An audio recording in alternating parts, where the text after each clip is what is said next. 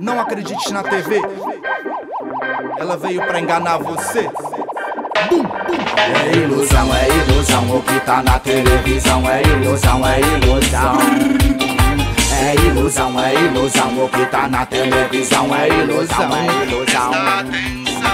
É ilusão, é ilusão. O que tá na televisão é ilusão, é ilusão. É ilusão, é ilusão. O que tá na televisão é ilusão.